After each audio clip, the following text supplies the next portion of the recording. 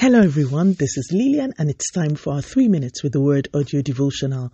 Today's topic is wisdom and seasons part 2 and our anchor scripture is taken from the book of Matthew chapter 2 verses 3 and 4. When Herod the king heard this, he was troubled and all Jerusalem with him.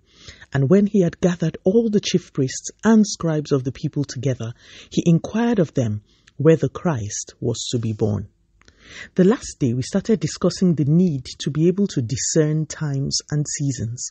There are people who are able to discern seasons of revival in nations and are able to position themselves spiritually to birth those seasons. There are others who are able to discern what God is doing in their lives and also position themselves to take advantage of the move of God.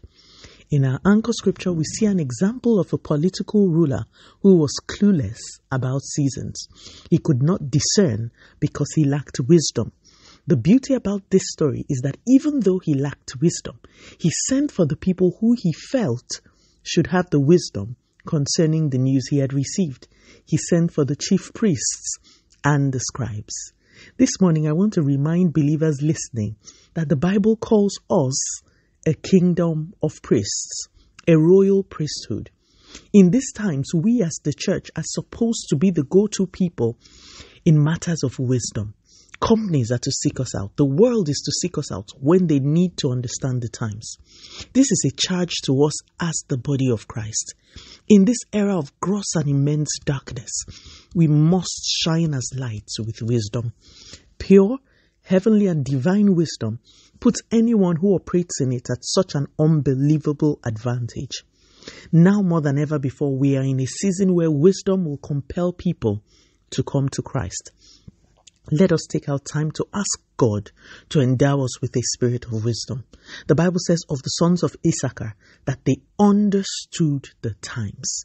They were able to discern the seasons, and as a consequence, they knew what Israel ought to do per time.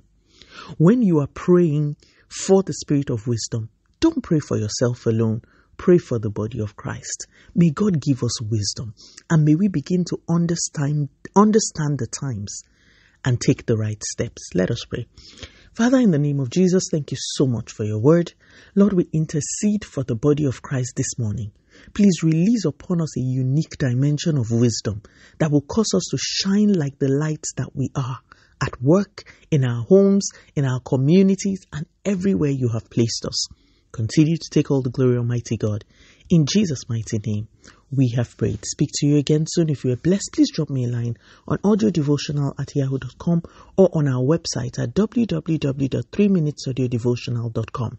You could also follow us on Facebook, Instagram, YouTube, and Twitter at 3 Minutes Audio Devotional.